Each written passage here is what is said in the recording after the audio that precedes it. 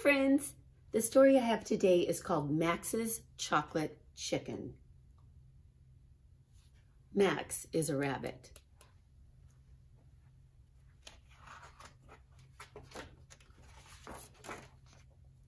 Ooh.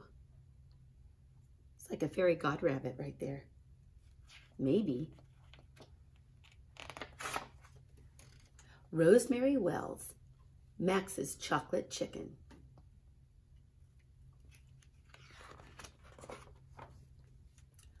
One morning, somebody put a chocolate chicken in the bird bath.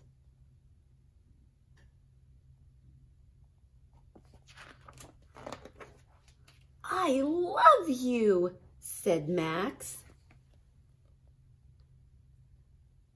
I love chocolate too. Do you? Wait, Max, said Max's sister Ruby. First, we go on an egg hunt.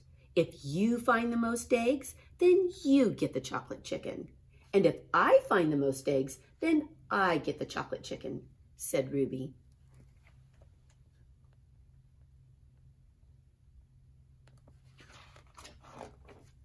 Max went looking for eggs, but all he found was a mud puddle. Ruby found a big yellow egg. Max didn't find any. No eggs, no chicken, Max, said Ruby.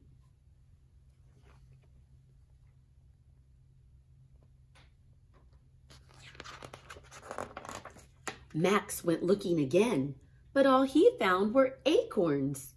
Ruby found a blue egg. Max, said Ruby, pull yourself together. Otherwise, you'll never get the chocolate chicken. Many eggs has Ruby found so far? How many has Max found? So Max went looking with Ruby. Ruby found a red egg with green stars. Max found a spoon. Ruby found a gold egg with purple stripes and a turquoise egg with silver swirls and a lavender egg with orange polka dots. Max found some ants.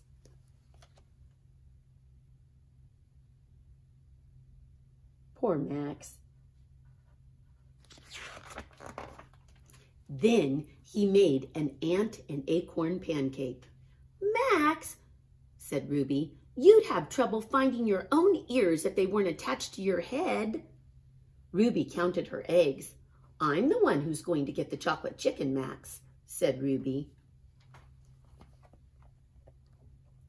She does have the most eggs, doesn't she?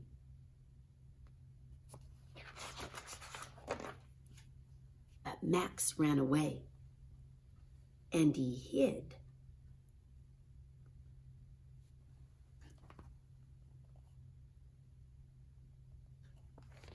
What do you think he's going to do with that chocolate chicken? The bird bath was empty. Where are you, Max? Ruby called. Max ate the chicken's tail.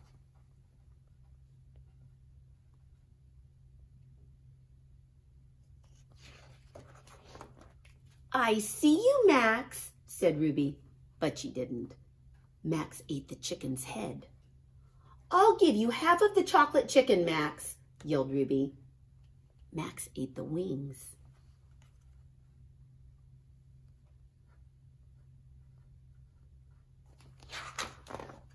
Then he popped out of his hiding place. Max, how could you do this to me?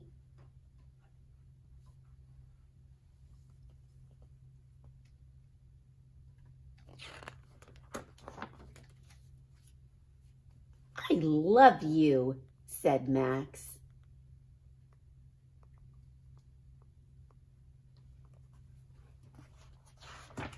How did that, that chocolate chicken get there in the bird bath again?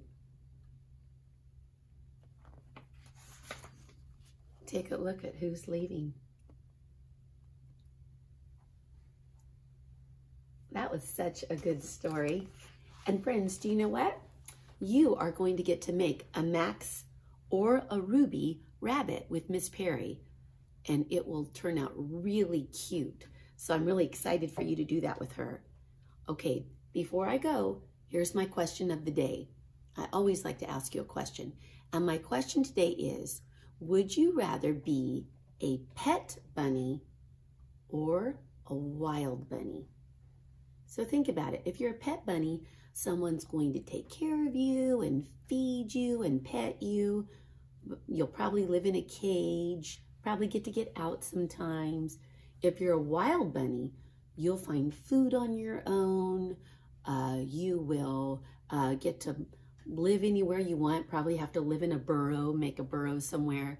So what would you rather be, a pet bunny or a wild bunny?